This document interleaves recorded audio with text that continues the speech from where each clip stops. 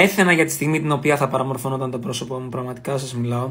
Όπως βλέπετε εδώ, από τη δεξιά μεριά έχω γίνει σαν τη Freezer από το Dragon Ball. Αυτά τα αυτιά που έχει και καλά εδώ πετάγονται.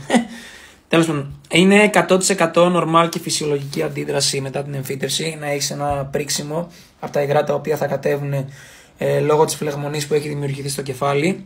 Και κάτι το διαφορετικό το οποίο έκανε η κλινική με την οποία συνεργάστηκα για να μου βάλουν μαλλιά είναι ότι μου φοράνε αυτήν εδώ την κορδέλα. Άμα την είχα σκεφτεί ότι όλο αυτό και γενικότερα το πρίξιμο που έχει πάνω θα είχε κατέβει στα μάτια μου, δεν θα μπορούσα να δω, θα είχαν κλείσει όλα και δεν θα μπορούσα να δουλέψω γιατί αυτή τη στιγμή κάνω μοντάζ.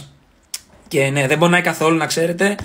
Και παίρνοντας την αντιβίωση και τα αντιφλεγμονώδη που με έχουν δώσει για τις πρώτες μέρες, θα έχω το καλύτερο και πιο γρήγορο ε, back to normal αποτέλεσμα. Δες πως είναι.